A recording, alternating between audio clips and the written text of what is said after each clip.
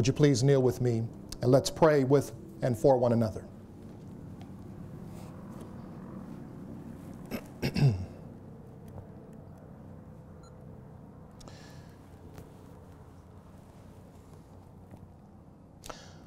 Father in heaven, we want our names to be found written in the pages white and fair, in the book of thy kingdom, the Lamb's book of life.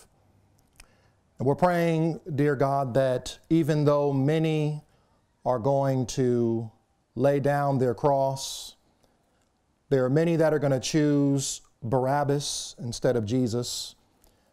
There are those that are going to repudiate the truths of the first, second, and third angels' messages. We're praying that we would be grounded and settled and not moved away from the hope of the gospel.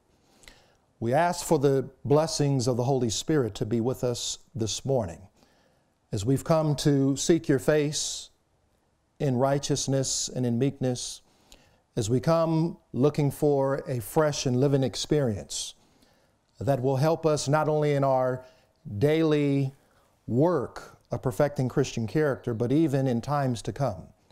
The storms of persecution, the fiery trial which is to try us.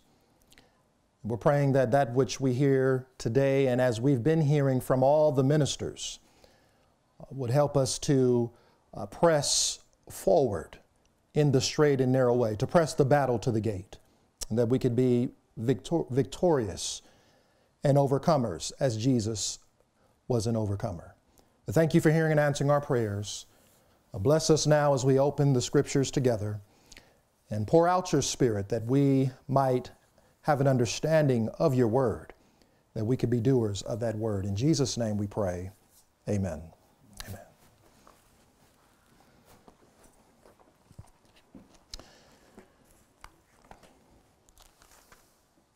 This morning, the Bible tells us in the book of Philippians, chapter 3,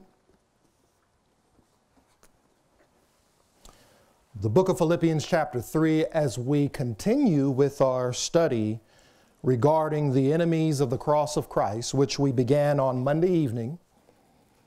We're continuing in that study this morning of Philippians chapter 3 and beginning here in verse 17. Again, Philippians, the third chapter, verses 17, starting there, reading to verse 19. The Apostle Paul writes to the saints of the church at Philippi Uh, brethren, be followers together of me, and mark them which walk so as you have us for an ensample. For many walk of whom I have told you often, and now tell you even weeping, that they are the enemies of the cross of Christ, whose end is destruction, whose God is their belly, and whose glory is in their shame, who mind earthly things. And so today we're continuing looking at verse 19, where we started on Wednesday, uh, rather Monday night, and we talked about those whose end is destruction. And we were linking this message of the enemies of the cross of Christ to those that ultimately will reject the third angel's message and will receive the mark of the beast and will receive the plagues and the condemnation that comes upon Babylon and those that commit fornication with her. We also touched on whose God is their belly. And of course, we made applications to uh, health reform and diet reform and even dress reform and showing that these reforms that God has given in the place and context of the third angel um, are representing the cross that God wants us to lift up at the end of the world. And we looked at some statements upon the end of our meeting. And so we're going to continue looking at whose God is their belly and get also into whose glory is in their shame and who mind earthly things. These are the enemies of the cross of Christ. And so at the end of the world, you and I are either the enemies of the cross of Christ or we are the friends or the messengers, the servants, uh, the ambassadors of the cross of Christ in context of the third angel. I want you to go back with me to the book of Romans 16 as we were looking at something in the book of Romans, chapter 16. Although we read it, we did not really cover it. And so we want to do that just now. And there's a warning against false teachers in Romans chapter 16 and verse 17. concerning those who serve their belly. Romans chapter 16 and verse 17. The Bible says, Now I beseech you, brethren, mark them which cause divisions and offenses, contrary to the doctrine which you have learned, and avoid them. For they that are such serve not our Lord Jesus Christ, but their own belly, and by good words and fair speeches deceive the hearts of the simple. So this is very uh, strong uh, language here. Those that are causing divisions and offenses among you, contrary to the doctrine that you received, it says you need to mark them and also avoid them because they're not serving Jesus Christ, but their own bellies, their own personal interests, uh, seeking to gain personal advantage, uh, whether it's for filthy lucre, or whether it's for the control of the conscience, uh, whether it is to gain disciples after themselves and speaking perverse things contrary to the, to the gospel of Christ that was delivered unto you, the Bible tells us, it says, mark them and avoid them. Now, we asked the question, we're going to answer it now. How are offenses and divisions caused among the people of God? This is what we want to look at just now. And so we're going to actually turn right over to 1 Corinthians chapter 1, just right after Romans 16. 1 Corinthians chapter 1. Again, how are dissension, uh, discord, um, offenses, how do these things come in among us as a people? And we're going to find that this was a theme that Paul, as a minister of the gospel, had to constantly deal with as he had several churches under his care and charge. And so we find in 1 Corinthians chapter 1, uh, beginning here in verse 10. The apostle says, Now I beseech you, brethren, by the name of our Lord Jesus Christ, that you all speak the same thing and that there be no divisions among you, but that you be perfectly joined together in the same mind and in the same judgment. So, in other words, to speak the same thing, we must have the same mind and the same judgment, and that is not my mind, that is not my judgment, but it is the mind of Christ, and it is the judgment of the Lord. Because if we all have the mind of Christ, and if we're all one with Christ, even as the Father and the Son are one in John 17, then that unity individually with Christ will also bring us on one accord with each other as you also are one with Christ and are receiving his mind and his spirit and have his same judgment. Uh, otherwise, we cannot speak the same things and there will be divisions and offenses that'll be amongst us. But it was Paul's prayer that there be no divisions, be no schisms, no fractions as it was in the body of Christ. The body of Christ is not to be broken up, as it were. Even as we consider the human body, um, if our patella is fractured or um, our, our, our, fingers or our hands or different joints of the body, well, then obviously all the members of that body are going to suffer with that member. They're all going to be affected some way or another. And so we continue on in verse number 11. And it says here, For it hath been declared unto me of you, my brethren, by them which are of the house of Chloe, that there are contentions among you. Now, this I say that every one of you saith, I am of Paul, and I of Apollos, and I of Cephas, and I of Christ. Is Christ divided? Was Paul crucified for you? Or were you baptized in the name of Paul? I thank God and that I baptized none of you but Crispus and Gaius, lest any should say that I had baptized in my own name. And I baptized also the household of Stephanas. Besides, I know not whether I baptize any other, for Christ sent me not to baptize, but to preach the gospel, not with the wisdom of words, lest the cross of Christ should be made of none effect. And so we find that the divisions, the schisms that come in amongst us, are the same issues and problems that were way back in the church of Ephesus, in the beginning of the gospel dispensation, where you had Christians, both Jew and Gentile, clinging tenaciously to their favorite ministers or their favorite ministries that they love to support and follow. I'm of Paul, I'm of Apollos, I'm of Peter, or I am of Cephas. In other words, divisions and offenses and, and schisms coming amongst us when we begin to start promoting men in their ministries. Instead of promoting the Word of God, the testimony of Jesus Christ, the, the Holy Ghost, the third angel's message, we're pushing men to the front and lifting up and exalting their ministries. And I can almost imagine how it must have been in this particular time because you can imagine some saying, well, listen, I, I follow Paul because Paul speaks more tongues than all of them. Paul's had visions and revelations that no man could, could, could see or, or hear, or it's not even lawful to speak. He was called up to the third heaven. I'm going to follow Paul. Some might say, well, listen, I'm going to follow Peter because, see, Peter was one of the original pioneers. He was one of the original 12. And so he's the one that actually saw Jesus. He worked with Jesus, he lived with Jesus. Hey, he even denied Jesus and was restored back to ministry. So Peter's the head of the church. He's the leader of the church. So I'm going to follow Peter's ministry. And then some might say, well, listen, Apollos, though, was mighty in the scriptures. He was a very powerful and very eloquent man of God. And so, even in the time of Corinthians, they were divided. Offenses were coming in because people were choosing their favorite ministries and denouncing those people that did not follow their favorite minister. Now, I wonder if that's happening amongst us today as well. You realize that certain people are not even here today because of their favorite minister, their favorite ministry.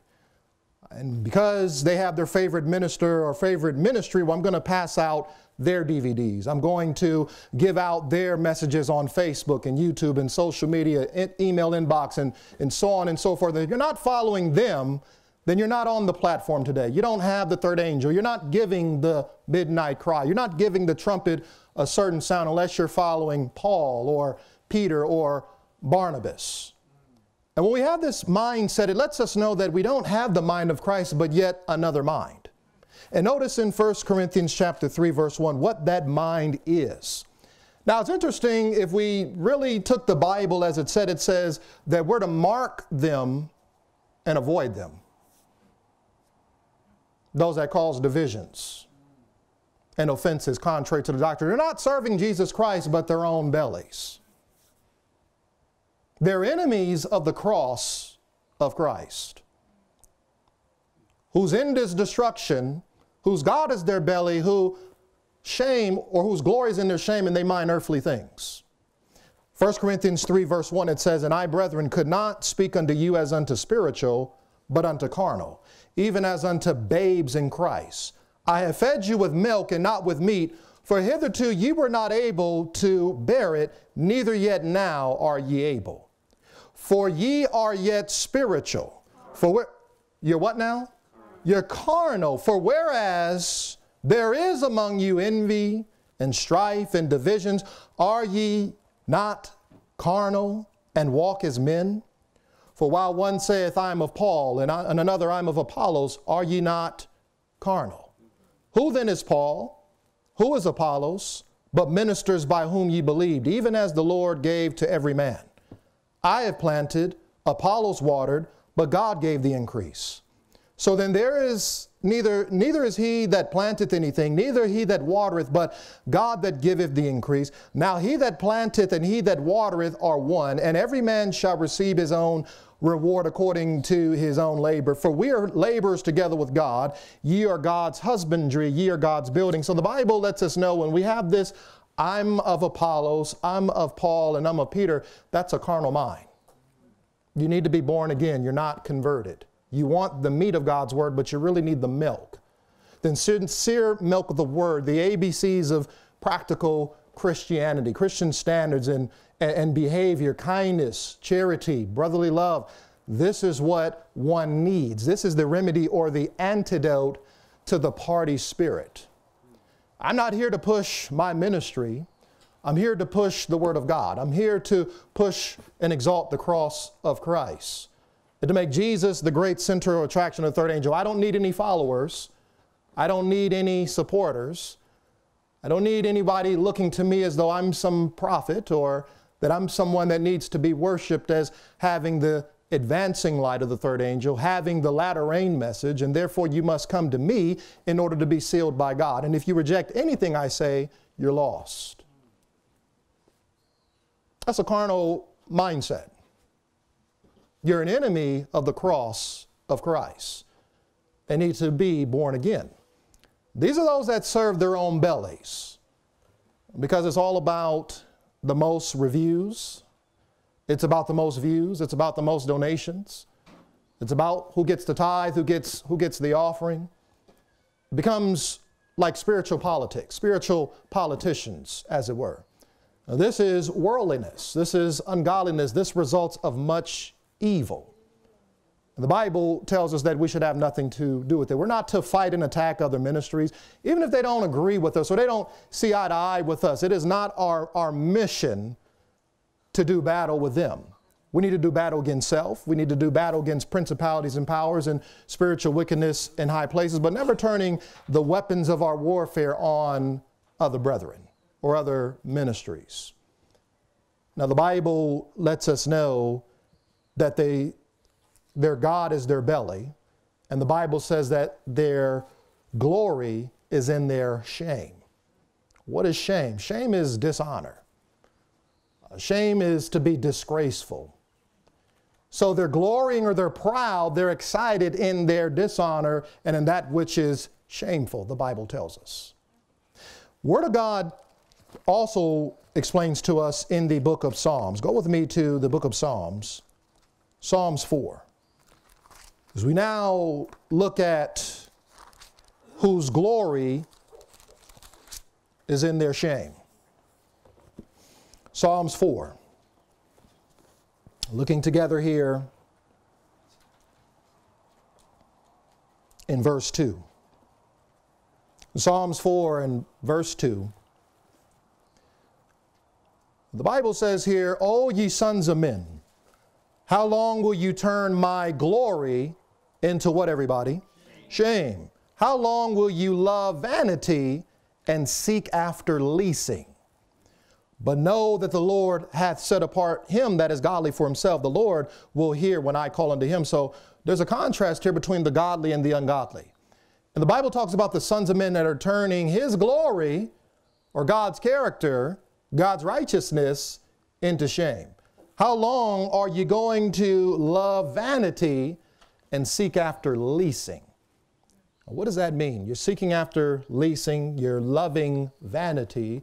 The glory of God is turned into shame. These are the enemies of the cross of Christ. Now let's look at this vanity for a moment. Go to the book of Second Kings, chapter 17. Second Kings, what chapter did we say? 17. Chapter 17, and beginning in verse 15, the glory of God is turned into shame or disgrace or dishonor. Because we love vanity, we seek after leasing. The Bible says in the book of 2 Kings 17 and verse 15. As a matter of fact, I want to begin here in verse 13.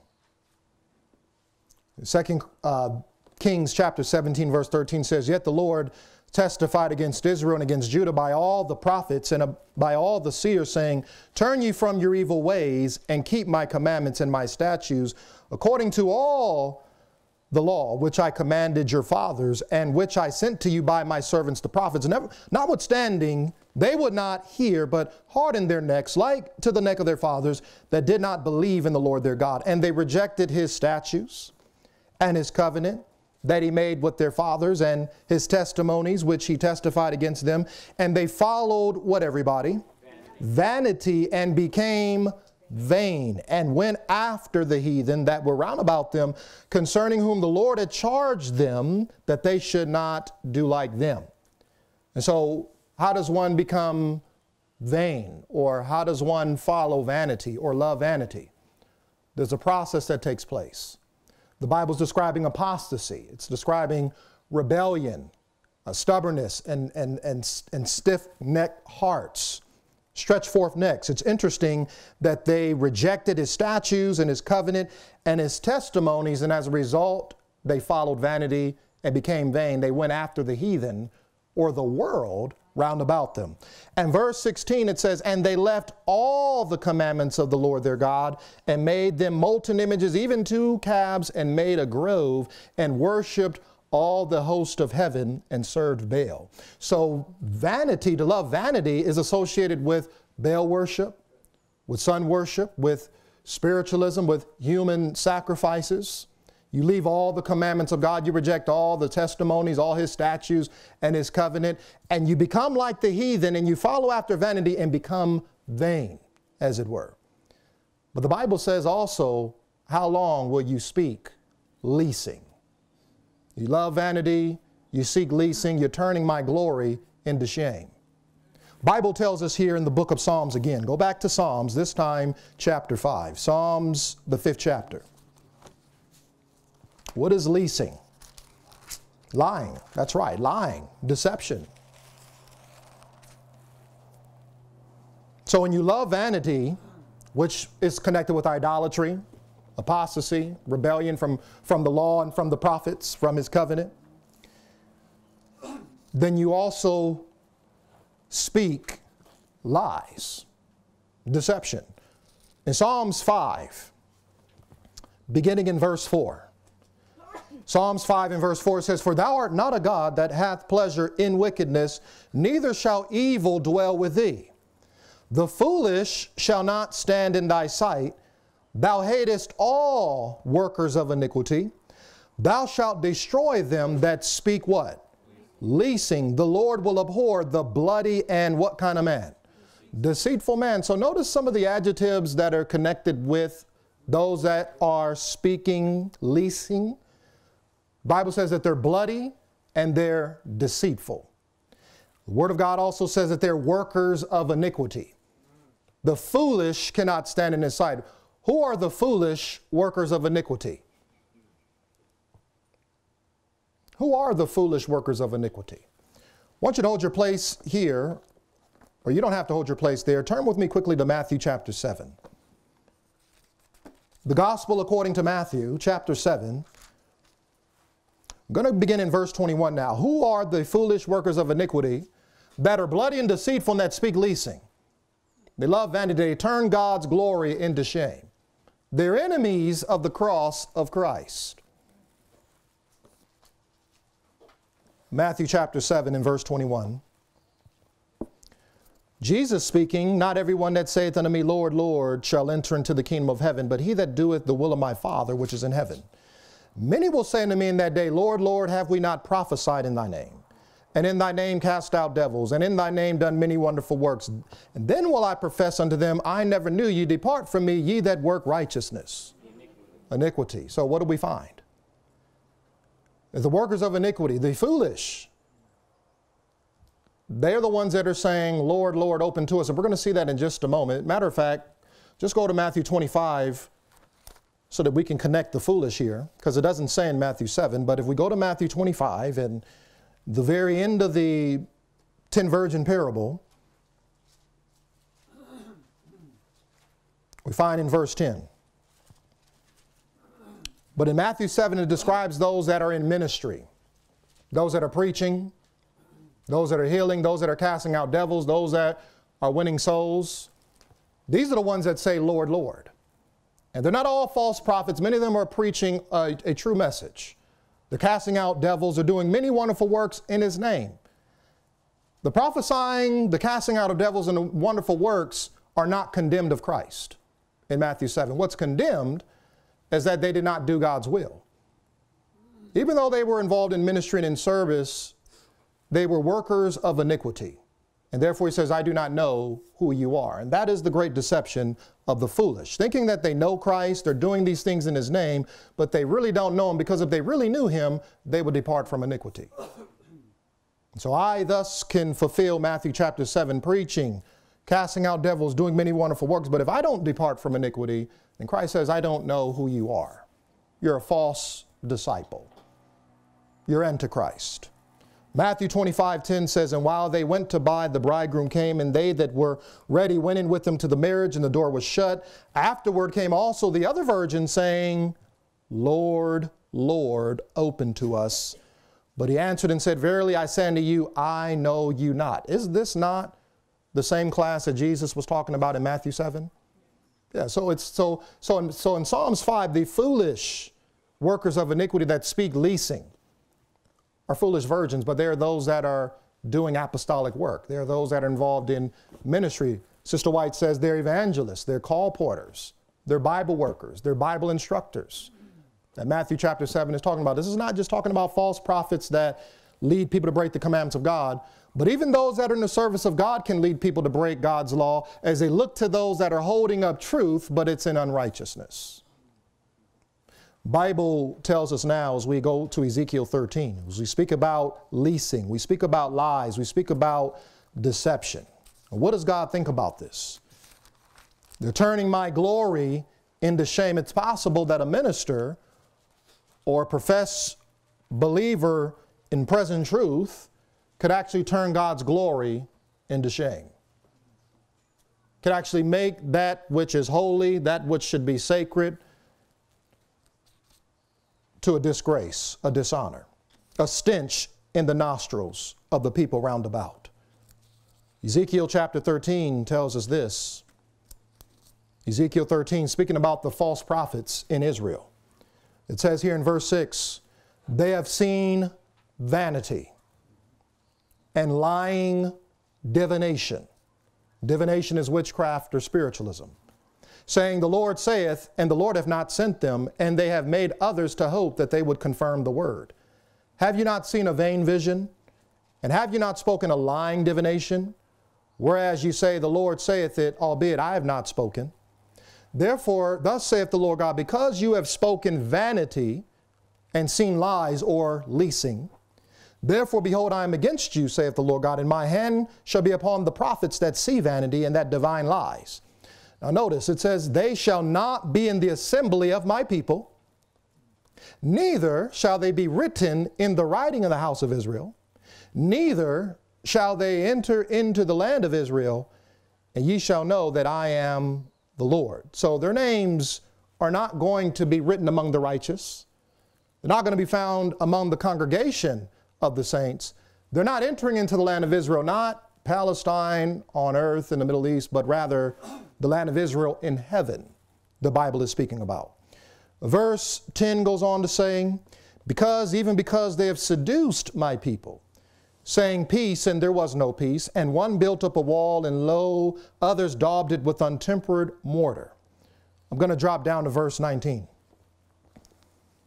Verse 19 it says, And will you pollute me among my people for what? Handfuls of barley and for pieces of bread. Stop there. Now, God is talking to the false prophets now, those that are speaking leasing, those that are deceitful, those that are deceiving the people, seducing them. God says, You're going to pollute me among my own people for what? For bread. What, is, what does that mean? What, what comes to view? When you think of basically, they're doing this bloody and deceitful work for money, for bread. In other words, they don't serve the Lord Jesus Christ, but their own belly. Enemies of the cross of Christ. You're polluting me among my people for handfuls of barley and for pieces of bread. And then notice what it goes on to say. It says, to slay the souls that should not die and to save the souls alive that should not live by your lying to my people that hear your lies. This is pretty serious here. So, in other words, these false prophets are destroying those that really should be saved alive, shouldn't be killed, and then those really that should die, you're trying to preserve and save them alive. I'm not taking any comments or questions right now. Um, not trying to be disrespectful, but we want to just continue on here this morning. We appreciate it. Hope no one's offended. Let's now go to the book of Hosea, chapter 4. Book of Hosea now, chapter 4. As we're talking about speaking leasing, we're talking about turning God's glory into shame. This is what is taking place among the enemies of the cross of Christ, whose God is their belly, whose glory is in their shame. Hosea chapter 4, beginning in verse 6 now. What is God going to do? to those that love vanity, those that speak leasing, to those that are turning his glory into shame, what's going to happen to them? Hosea chapter 4 and verse 6 tells us, My people are destroyed for lack of knowledge. Because thou hast rejected knowledge, I will also reject thee, that thou shalt be no priest to me. Seeing thou hast forgotten the law of thy God, I will also forget thy children. As they were increased, so they sinned against me. Therefore will I change their glory into what? So notice now, as they've turned God's glory into shame, now God says, Now you've rejected my knowledge, you've rejected my law, you've forgotten it actually.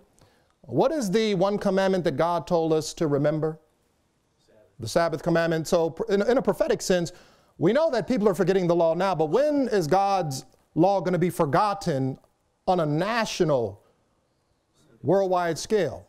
Local, universal Sunday law. So we can see Hosea 4 6 pointing to the Sunday law crisis. And then now God says, Well, now that which is your glory, I'm going to change it into shame now. So it's interesting. Well, what is their glory? We're going to find what their glory is that they are excited about, that they're uplifting, that they're actually proud about. Your glory is going to be turned into shame. Verse 8 it says, They eat up the sin of my people, and they set their heart on their iniquity. And there shall be like people, like priests, and I will punish them for their ways and reward them their doings. For they shall eat and not have enough. They shall commit whoredom and shall not increase, because they have left off to take heed to the Lord. Whoredom and wine and new wine take away the heart. My people ask counsel at their stocks, and their staff declareth unto them, for the spirit of whoredoms hath caused them to err. They have gone a whoring from under their God. They sacrifice upon the tops of the mountains and burn incense upon the hills, under oaks and poplars and elms, because the shadow thereof is good. Therefore your daughters shall commit whoredom, and your spouses shall commit adultery. I will not punish your daughters when they commit whoredom nor your spouses when they commit adultery, for they themselves are separated with whores, and they sacrifice with harlots. Therefore, the people that doth not understand shall fall. Though thou Israel play the harlot, yet let not Judah offend, and come not ye unto uh, Gilgal, neither go you up to Beth Aven, nor swear, the Lord liveth. For Israel slideth back as a backsliding heifer. Now the Lord will feed them as a lamb in a large place. Ephraim is joined to his idols, let him alone. Their glory that's going to be turned into shame is their idolatry. It's their whoredom. It's their fornication. This is what they are glorying in. And God says, I'm going to make that disgraceful. I'm going to make it dishonorable, the very dishonorable thing that it is. They glory in their golden calf. They glory in the images of four footed beasts and creeping things. They glory in the sun. I'm going to turn that into shame, the Bible says. So their God is their belly, whose glory is in their shame. Turn to Jeremiah 3. Jeremiah 3, verse 3. As we come to the last description of the enemies of the cross of Christ, Jeremiah 3 and verse 3 tells us this because remember, Hosea said that they're separated with whores, they commit whoredom, they commit adultery, and they do this by their graven images, by their molten images and other gods. Jeremiah 3 3 says, Therefore the showers have been withholden, and there hath been no latter rain, and thou hast a whore's forehead, thou refusest to be what? So this is their glory and their shame. The fact that they have a whore's forehead, a carnal mind, not the mind of Christ. What does the whore's forehead look like? You know what's written on it Mystery Babylon the Great, the mother of harlots and abominations of the earth. But what is it about the whore's forehead or the mind of the harlot? What is the mind of a harlot? When you consider the church of Thyatira, that woman Jezebel, which corresponds to the scarlet great whore in Revelation 17, you realize that in Revelation 2, God says that she was calling herself a prophetess, teaching and seducing his servants to commit fornication and eat things sacrificed on idols. Then he says, I gave her space to repent of her fornication. But what did she do? Or what, what did she not do? She didn't repent. So, in other words, the mind of the harlot is the mind that refuses to turn around. It's the mind that refuses to repent. Although probationary time is given to you, God's grace is revealed to you, the gospel, the law of God, the Spirit of God, the, the, the, the cross of Christ, all presented to us. But in all that space of time, there was no repentance. We saw that in the history of the Protestant reformers under Martin Luther and Calvin and Zwingli and Melanchthon, Huss, Jerome, all the reformers. All during that time, God was trying to do a work to bring her to repentance, to bring her back to sola scriptura to bring her back to the just shall live by faith, to bring her back to the prophecies of Daniel Revelation, to the Word of God, to exalt a pure standard, and yet during all this time, she refused to repent. Repentance is involving a change of mind, a sorrow of heart for sin, and a turning away from it. This is the mind of a harlot. This is why the latter rain does not come unto us because the whore's forehead is an incorrigible mind, a mind that will not change, will not repent, will not turn it around. The Bible tells us whose end is destruction, whose God is their belly. Their glory is in their shame, and they mind earthly things. And of course, when we think of their shame, we know that this has to point to us because Revelation 3, verse 17 and 18, speaking about Laodicea, tells us very plainly that we ought to buy of him gold tried in the fire that we may be rich, and anoint our eyes with eye salve that we may see, and also, or rather, be clothed with his white raiment, that the shame of our own nakedness is not revealed. When God's people are naked it's because of apostasy. You think back to Adam and Eve in the garden. They were clothed with those garments of light, just as God covers himself with a garment of light, and that garment departed from them. Why? Because they sinned at the tree of the knowledge of good and evil. They accepted another gospel, another Jesus, another spirit, brought to them by the beast power or the serpent. And as a result, the woman was overcome. And she ended up being naked. She gave the fruit to her husband, he ate it, he also was naked. What about the time of the golden calf apostasy at the foot of Mount Sinai? When Exodus 32 describes the dancing of the children of Israel, and it says that Aaron had made them naked unto the shame of their own enemies, apostasy. We find various different places in the Bible where, where men were, were, were naked or men were stripped of their garments because of sin, disobedience. So the shame of their own nakedness appearing this is Laodicea glorying in the fact that they're poor, they're blind, they're wretched, they're miserable, and they're naked, and glorying in this, and are going to be spewed out of his mouth. Who mind earthly things. What are these earthly things that they are minding or their mind is upon? Turn to James chapter 3. James chapter 3 starting with verse 13. Coming to the fourth description here concerning the enemies of the cross of Christ. James, the third chapter, in verse 13.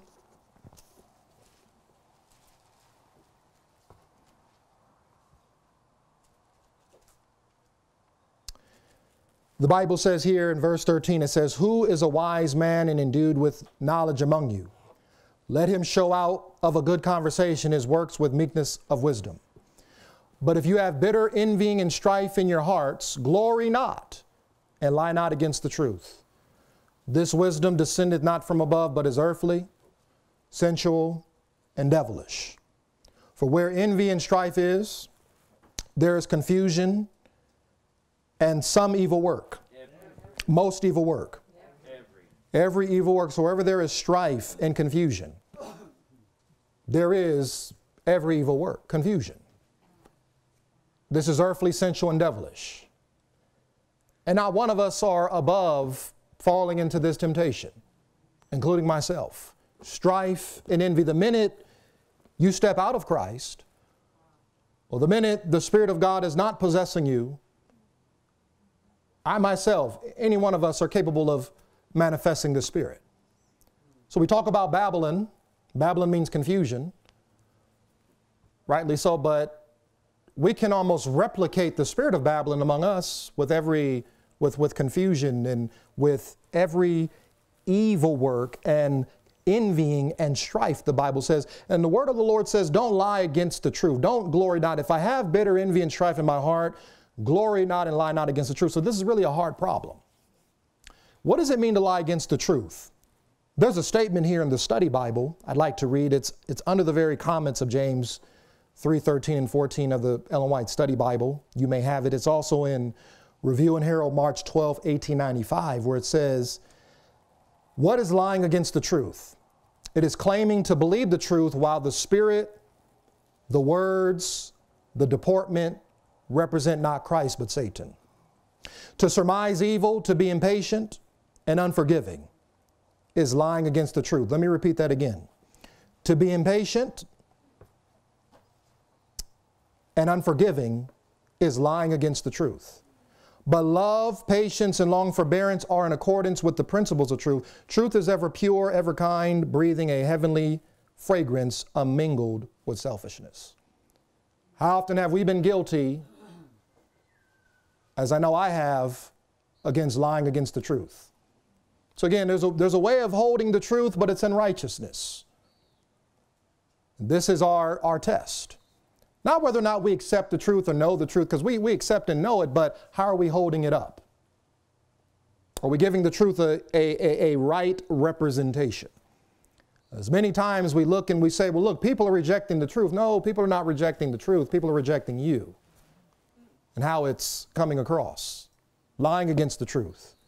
Because in verse 17 of James 3, it says, But the wisdom that is from above is first pure, then peaceable, gentle, easy to be entreated, full of mercies and good fruits, without partiality and without hypocrisy. And the fruit of righteousness is sown in peace of them that make peace. And brethren, as I said Monday night, I'm not preaching something to you that I myself don't need. I need this message more, probably more so than anybody here. And this is no lie. This is the fact. This is the truth. I'm not coming together and coming before you preaching something that I myself don't need or that I myself am not grappling with. But I figure that if it's, if it's good for me, it should be good for someone else. When we consider in Colossians 3, Colossians, the third chapter, and we speak about these earthly things that our minds are upon. What, is, what are those earthly things? Well, we saw some of them envying, lying, being unforgiving, holding grudges, holding on to resentment. We're lying against the truth when we do that. This wisdom is earthly, sensual, devilish. You're in Colossians 3, beginning in verse 1.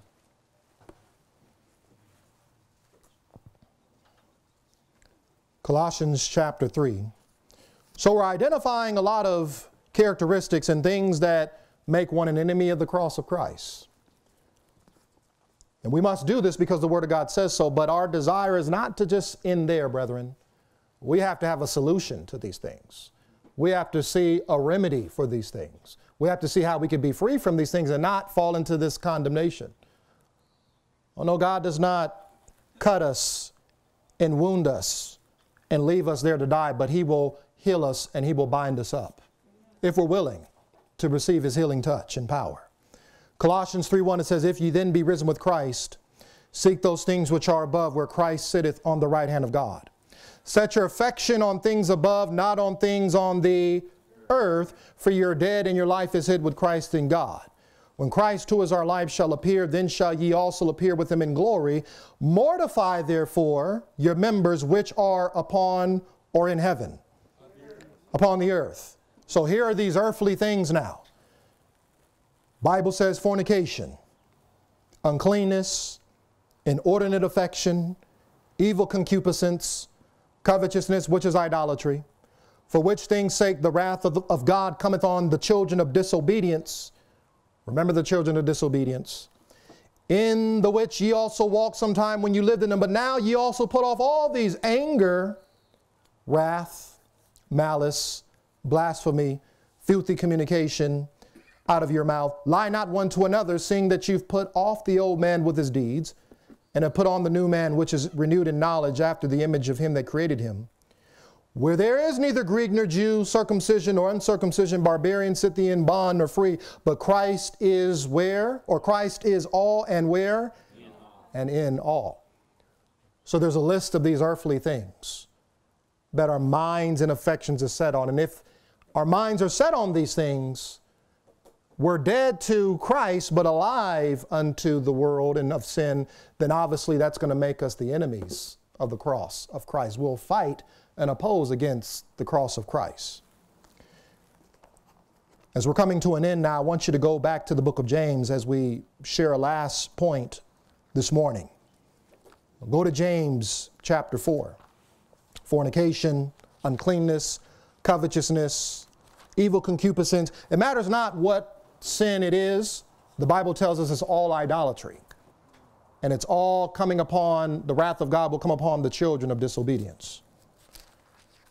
And sometimes we like to think that the children of disobedience are the children of the world, but no, the children of disobedience are simply God's children that profess to be of his household, but just don't obey him. Those are the children of disobedience. We're in James 4 again, coming to an end now. We talk about the enemies of the cross of Christ. Notice in James chapter 4, another descriptive agitation or adjective, I should say, of the, of the same people. James 4 4 says, Ye adulterers and adulteresses, know you not that the friendship of the world is enmity with God? Whosoever therefore will be a friend of the world is the enemy of God. So, enemies of the cross of Christ, enemy of God is somebody that is a friend of the world. Or, in other words, you're the world's friend. Now, question understanding that God calls us adulterers and adulteresses, so, so obviously, this friendship with the world, this alliance with the world, it's spiritual adultery. We're breaking our vows before God as he is our husband and we're supposed to be presented as a chaste virgin unto Christ. Wonder why it is that the friendship of the world is enmity with God, because this is strong language. This, this doesn't just simply mean that God dislikes it or God disapproves of it, but he says enmity. What is enmity? This is, this is perfect hatred. This is serious hatred here, where it goes just beyond that, well, I, I just don't like you. That's not what we're talking about. Friendship with the world is enmity or hatred with God. And he says, if you're a friend of the world, you're an enemy of God. Why is it such hatred and hostility? Where there is no peace, there is no compromise, there is no treaty or concession between being a friend of God and a friend of the world. Well, James, or rather 1 John 2 15 to 17 tells us that we're not to love the world. And these are the things that are in the world. Because if any man has the love of the world, the love of the Father is not in them. For all that is in the world is the lust of the flesh, the lust of the eyes, and the pride of life. And that is of the world and not of the Father. And the world's going to pass away in the lust thereof, but he that doeth the will of my God will abide forever. So we know that and this is a balance here because we're not to we're not to love the world in the context of loving the things in the world. And what are those things? Lust of the flesh, lust of the eyes, and pride of life. We're not to love. However, we're told when we, matter of fact, how do we know when Christ's mission for us is fulfilled? I'm not talking about Christ's mission for the world per se, but I'm talking about for you. When, yes, when we love the world as He loved the world, then His mission for us is accomplished. His work for us is done. And we're ready for heaven, she says. Well, how did he love the world?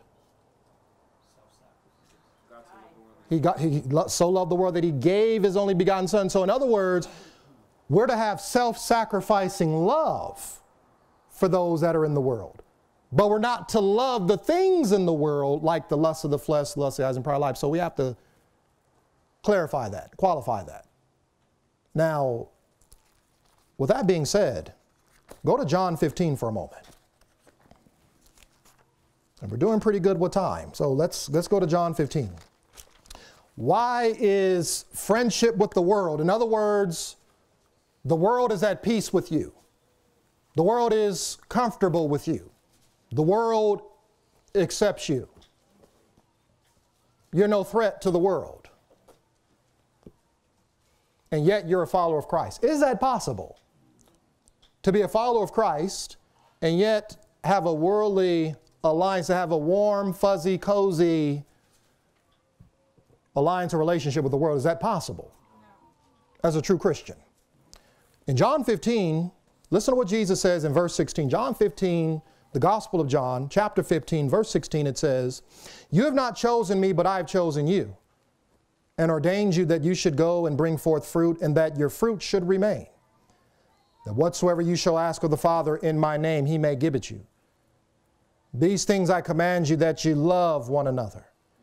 If the world hates you, if the world what? Hates you.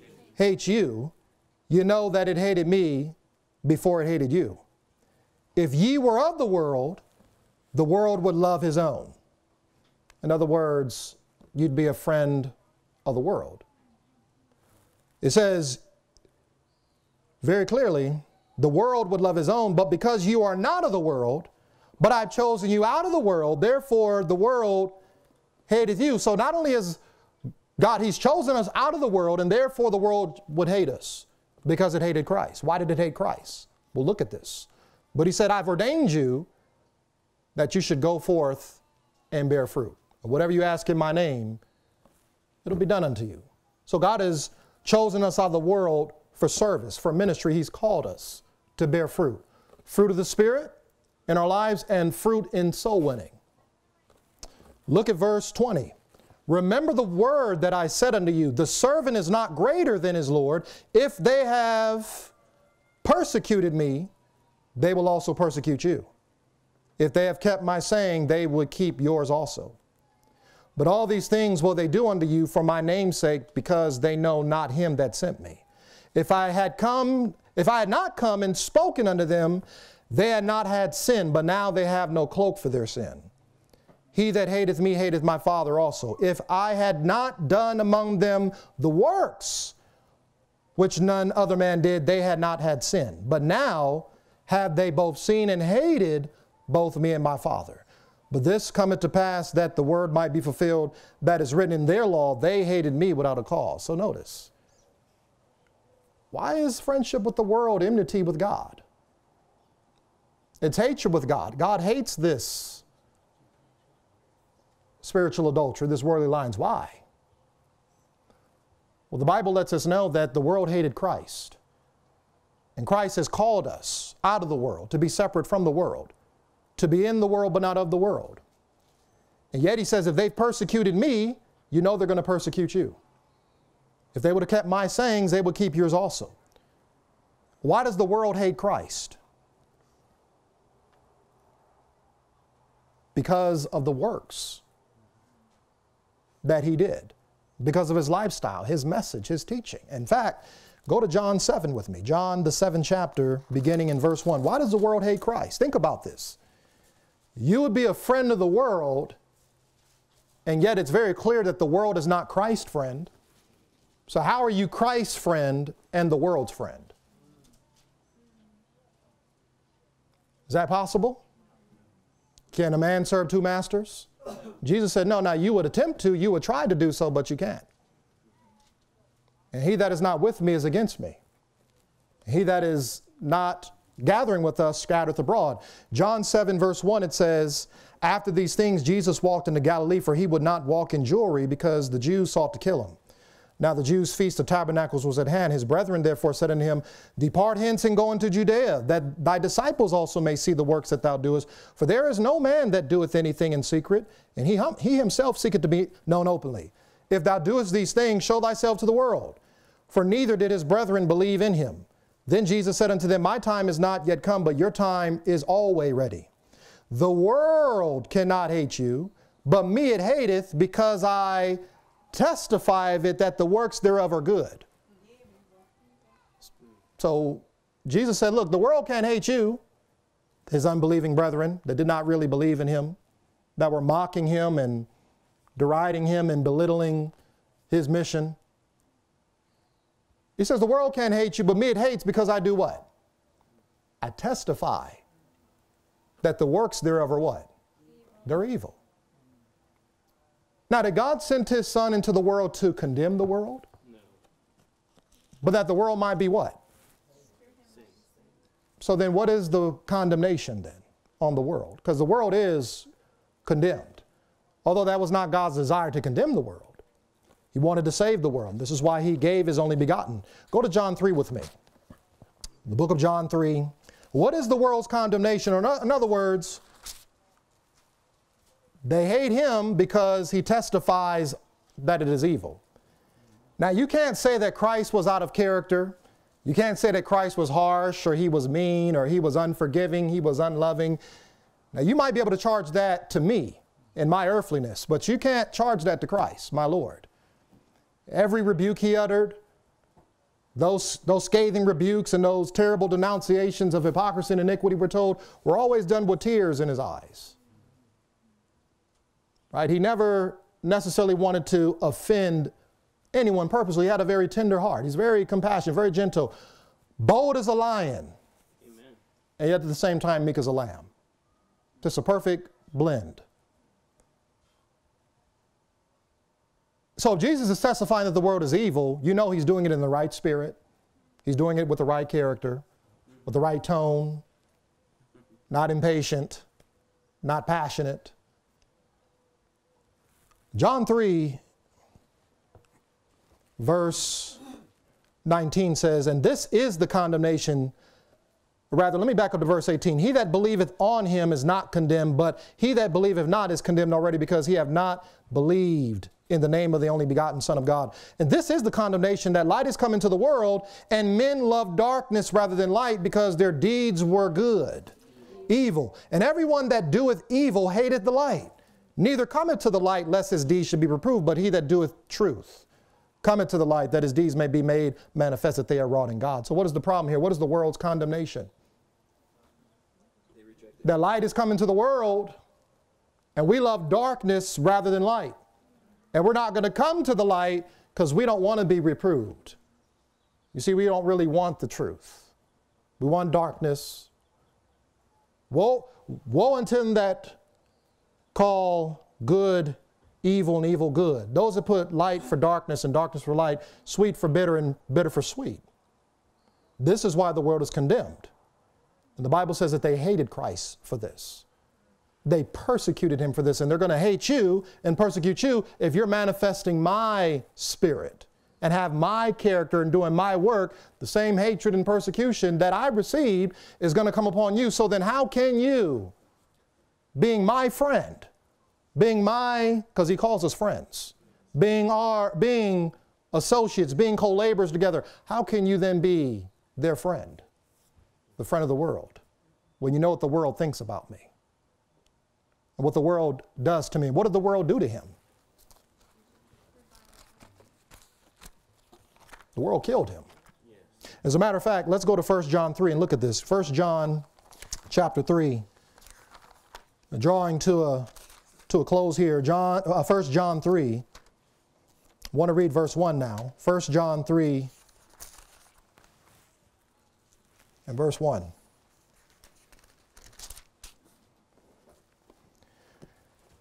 Can't believe that in all this time it's only been 58 minutes. I wish every time I spoke it was like this. Usually it's an hour and a half already. It's going on two hours. 1 John 3, verse 1. Listen to what it says. 1 John 3 1 Behold, the, what manner of love the Father hath bestowed upon us, that we should be called the sons of God. Therefore, the world knoweth us not because what? So, as the son of God or as a daughter of God, just like the world didn't know him, world's not going to know us. In other words, in other, in other words, the world was not his friend. And the world will not be our friend either. Not because of fanaticism, not because of bigotry, not because of Phariseeism, but because of manifesting the Spirit of Christ in thought, word, and action, and doctrine. Verse 2 Beloved, now are we the sons of God, but it doth not yet appear what we shall be. But we know that when he shall appear, we shall be like him, for we shall see him as he is. And every man that hath this hope in him purifieth himself, even as he is pure. Drop to verse 11. So, a son of God is like him, and the world did not know him. As a matter of fact, it's interesting that Isaiah 53, verse 2 says, He hath no form or no comeliness, and when we shall see him, there is no beauty that we should desire him. Not that Jesus was unattractive in his physical likeness and image, but that the world saw no beauty in holiness. Because the Bible talks about worshiping God in the beauty of holiness. There's beauty in holiness. And so, because of his holiness, they were not attracted to his holiness. There was nothing in Christ that outwardly attracted or drew men to himself. Therefore, they saw no beauty that they should desire him. Only purity, only holiness, only honor, virtue, and truth and righteousness was the beauty that Christ possessed. It drew the faithful to him. But look at 1 John 3:11. It says, "For this is the message that you heard from the beginning that we should love one another, not as Cain, who was of that wicked one and slew his brother. And wherefore slew he him? Because his own works were evil and his brother's righteous." Why did Cain slay his brother? Because Cain's works were evil and his brother's was righteous. Why did they kill Jesus? because Abel was the first Christian martyr that pointed to Christ. And just as Abel was slain by his brother, was not Jesus also slain by the brotherhood of humanity? He was a brother with them. They killed him. The church and the world together. As a matter of fact, the Bible goes on to say in verse 13, Marvel not, my brethren, if the world hates you. So, this is why we can't be friends with the world, because the world hated Christ persecuted Christ because he testified of the evil. He was not a fanatic. He was not a offshoot. He was not an extremist. He was not a gazing stock. He gave the, mess- the right message with the right spirit and with the right character. And yet we're told that when we reach the standard that God would have us reach, the world would regard us as odd, singular, straight-laced extremists. Did you know that? When you're reaching the standard that God would have you to reach, that's how the world would regard you. I want to ask you a question. Who were those that were responsible for the death of Christ? Everybody. And on the cross of Christ, there was a title that was made or written in three languages. How many languages? What were those languages? Hebrew, Greek, and Latin. Hebrew, Greek, and Latin. This represented the whole world. This was the threefold enemy that came together to crucify him. Hebrew, Greek, and Latin represented the symbols of the dragon, beast, and false prophet in Christ's day. Those three frogs, those spirits of devils. And you notice something interesting as you go to Acts 4, then I want to end in the book of Luke and read something to you. Go to Acts 4. Because the question I want to ask as we end here is how does one make a friendship with the world? In other words, how does the world come together as friends? That's what we want to look at in closing. This friendship with the world. And understand why God says, I hate, you're, you're my enemy if you're a friend of the world. You're an adulterer, adulteress if you love the world. Not as I loved it, but loving the lust of the flesh, the lust of the eyes, and the pride of life. We look at Acts 4, verse 26, and it tells us something interesting. Acts 4:26 it says the kings of the earth stood up the rulers were gathered together against the Lord and against his Christ for of a truth against thy holy child Jesus whom thou hast anointed both Herod Pontius Pilate with the Gentiles and the people of Israel were gathered together. For to do whatsoever thy hand and thy counsel determined to be before to be done. What do we find here? Do we see the threefold enemy? Herod, Pilate, Herod and Pilate are one, Rome, the Gentiles, or the Greeks, and the people of Israel. We're all gathered together. How does the friendship of the world come together? You realize that these three powers that did not like each other, that were separate from each other, that enmity with each other, actually did become friends? Friends of the world. How? Let's go with me to Luke 23.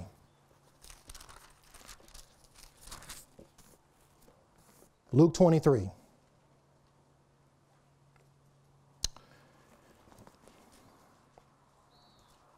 And I do have one more verse after Luke. I'm sorry, I an oversight on my step on my site. Luke 23. And I want you to notice with me one to begin in verse 6 because they brought Jesus to Pilate. And you know, Pilate was trying to get out of a disagreeable duty. And the minute Pilate had heard where Jesus was from, Oh, you're a Galilean? Oh, okay, well, that's not my jurisdiction. I'm going to send you to Herod. He's over Galilee. We find in Luke 23, verse 6, when Pilate heard of Galilee, he asked whether the man was a Galilean. And as soon as he knew that he belonged under Herod's jurisdiction, he sent him to Herod, who himself also was at Jerusalem at this time. And when Herod saw Jesus, he was exceeding glad, for he was desirous to see him of a long season, because he had heard many things of him, and he hoped to have seen some miracle done by him. Then he questioned with him in many words, but he answered him nothing. And the chief priests and scribes stood and vehemently accused him. It's interesting, it's not going to be the world that's going to be crying after your, or the, or, the, or the state of the civil power per se, it's going to really be the, the church power, the religious element that's going to really be vehemently accusing you before the tribunals, before the judges, the magistrates. They were vehemently accusing him. Verse 11, when, and Herod with his men of war set him at naught and mocked him and arrayed him in a gorgeous robe and set him, sent him again to Pilate. And the same day, Pilate and Herod were made friends together. For before they were at enmity between themselves. So here's two men that hated each other's guts, couldn't stand each other. Well, how did they become friends?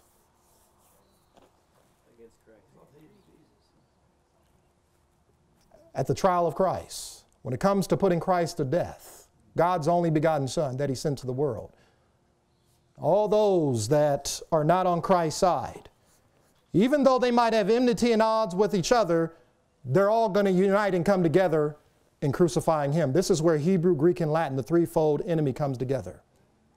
At the trial of Christ, give us not this man, but give us Barabbas. We have no king but Caesar.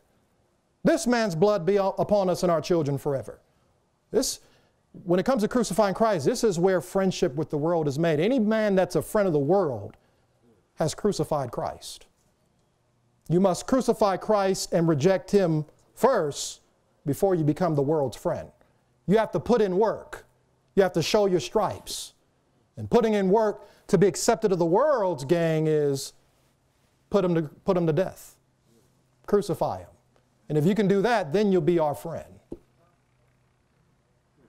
This is why it's hatred with God. You're an enemy of God. The statement, no, let me come to, let me come to Ephesians chapter 2 and end with this. Go to Ephesians chapter 2 with me.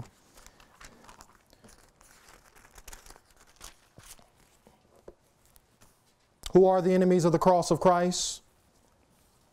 It's those that crucify him and put him to open shame. Have I been guilty of this? Yes. Have many of us been guilty of this? Yes. Professing to be the friend of Christ, his disciples, but yet we're his enemies. When we look at Ephesians chapter 2, beginning in verse 1, it says, And you hath he quickened who were dead in trespasses and in sins, wherein in time past you walked according to the course of this world, according to the prince of the power of the air, the spirit that now worketh in the children of obedience. So notice, when we're walking according to the course of this world, whose spirit is in us? The prince of the power of the air. Who's the prince of the power of the air? Satan. Satan. That was the spirit that was in the world that crucified Jesus on Calvary. The spirit that works in the children of disobedience, Israel, the Gentiles, Rome. Verse 3 Among whom also we all had our conversation in time past in the lust of our flesh, fulfilling the desires of the flesh and of the mind, and were by nature the children of wrath, even as others. So, wait a minute now. How do we become the enemy of God? Becoming a, by becoming the friend of the world. How do we become a friend of the world? By joining with those who crucify Christ or crucify the three angels' messages. And what is it that allows the spirit of Satan to find access to our hearts? What is it? But before that, the lust of the flesh, the lust of the eyes, the pride of life. Because if we fulfill the lust of the flesh and of, and of the mind, and this lets us know that the love of the world is in us. Worldliness, worldly conformity is in us. And we've crucified Jesus. This statement here in closing tells us in Review and Herald, February 26, 1895.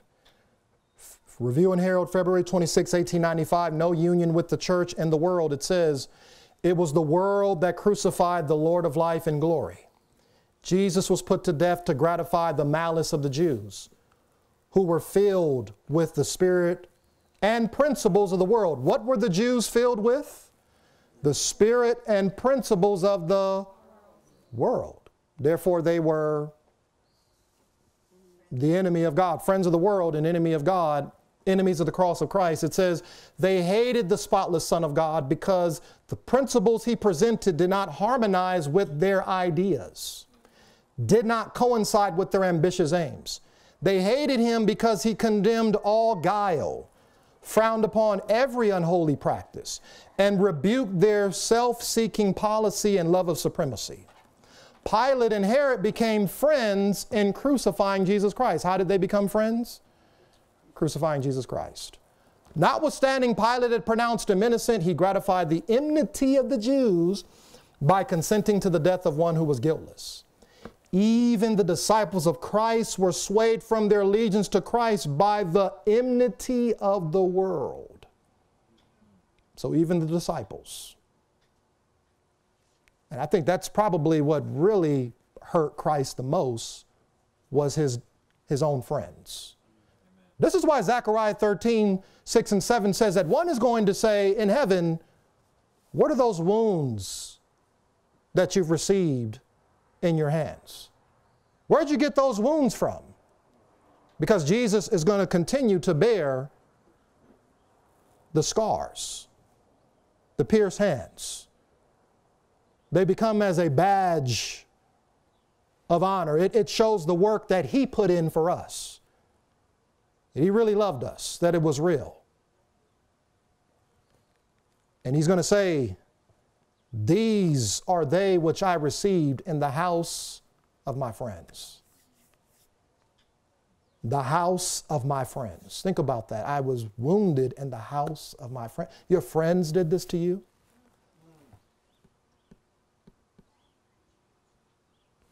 My friends did this to me.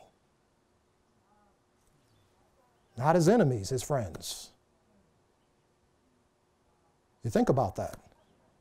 Father, forgive them. They don't know what they do. My friends did this to me. And yet, it will remain such for all eternity. To remind us of the cross, so that sin and rebellion and apostasy do not rise up the second time to keep us from sinning against Him. He remains the Lamb for all eternity. This concerning Peter, concerning Judas, those that betrayed him, those that denied him, those that forsook him. This too will be repeated again during the mark of the beast crisis. We have two choices.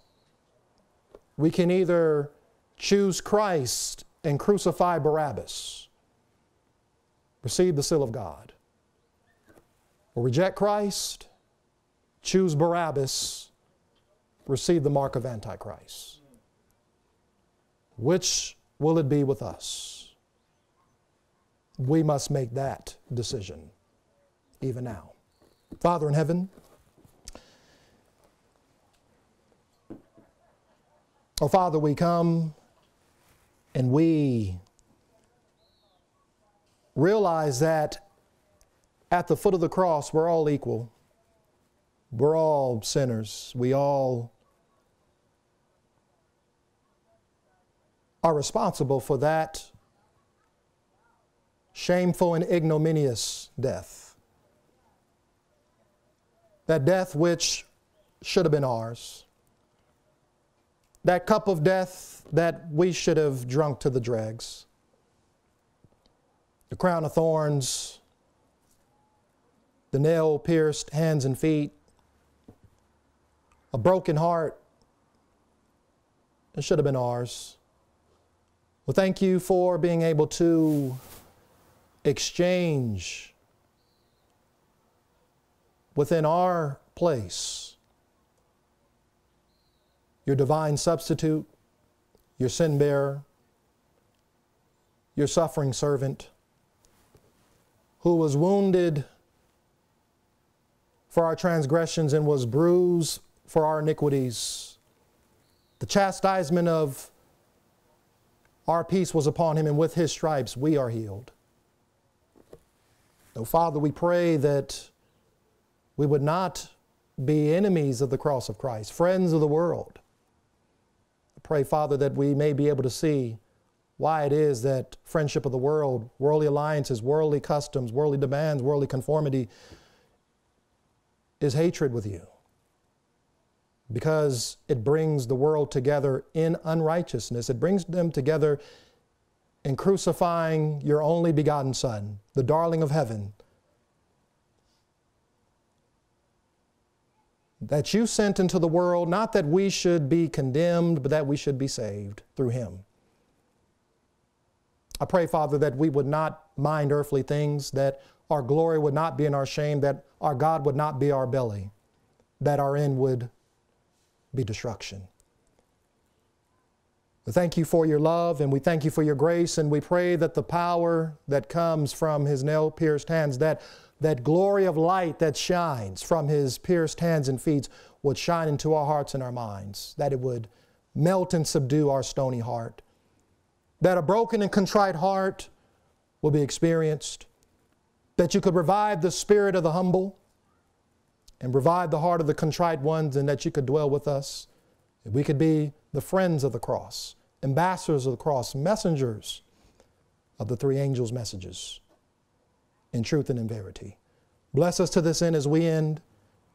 And may your Spirit continue to be with us and rest mightily upon all the other ministering brethren and those that will come after. In Jesus' name we pray. Amen.